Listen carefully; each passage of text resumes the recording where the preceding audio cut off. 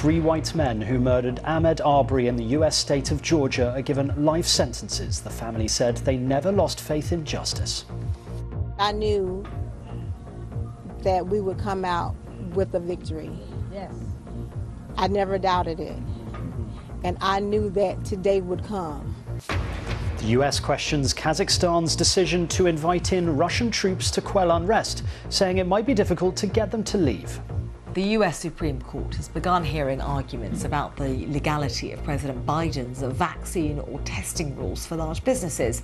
Opponents say he does not have the authority to impose the rule without going through Congress. Backers say it will save lives. Judgment is not expected for several days. NATO Secretary General Jens Stoltenberg says Russia is continuing its military buildup near Ukraine, posing a real risk of a new armed conflict in Europe.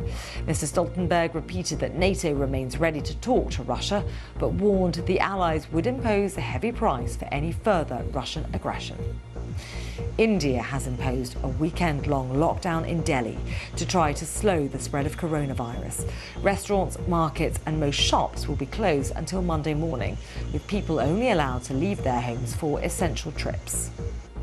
Austria's Chancellor Karl Nehammer has tested positive for coronavirus. The 49 year old, who took over as Chancellor a month ago, is in self isolation and says he isn't showing any symptoms. In a statement issued through his spokesman, he said, There is no need to worry, I'm fine and doing well.